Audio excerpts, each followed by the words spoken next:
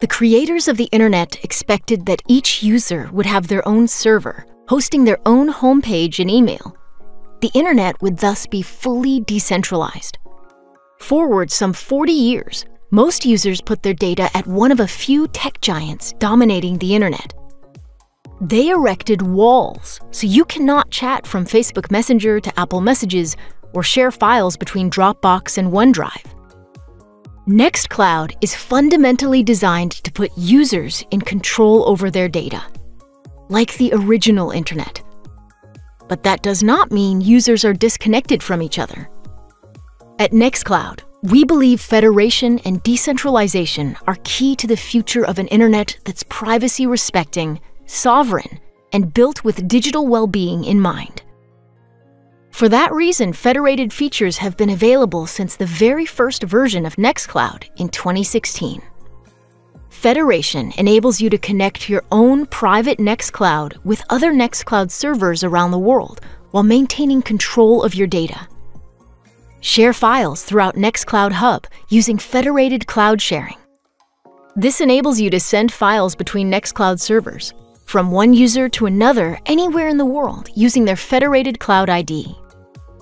Sharing files with another user is similar to sending an email, and the addresses look the same too.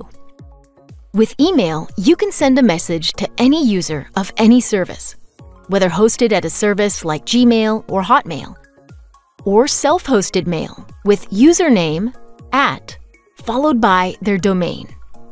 This is familiar throughout all decentralized technologies. To share a file with a friend or colleague on another Nextcloud instance, enter their federated cloud ID, their username at their server address.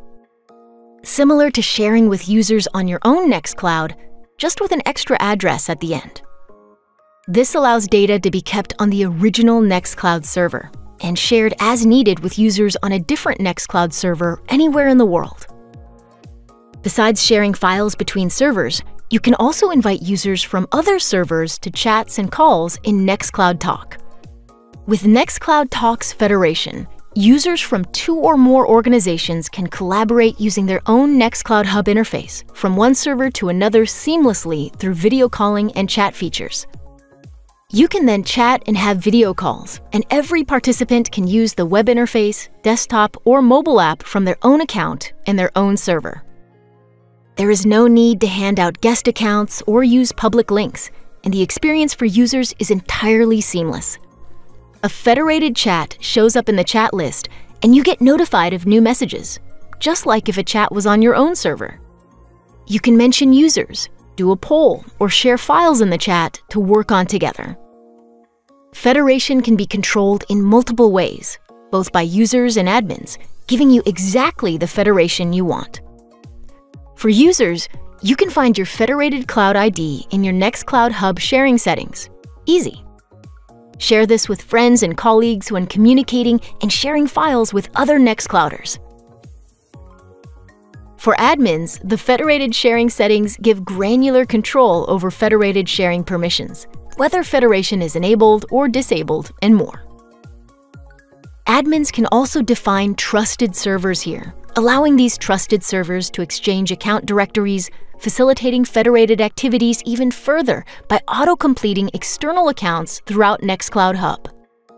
As always with Nextcloud, you're in control of your data, defining exactly the level of privacy you desire. These days, a few tech giants hoard gargantuan amounts of personal data, straying away from the original intention of what the internet could have become. To self host your data and collaborate on your own terms, you can achieve this today when you choose Nextcloud. Choose regaining control over your data. Stop following the rules of the big tech companies and instead join us in our belief that federation and decentralization are key to the future of an internet that respects your privacy.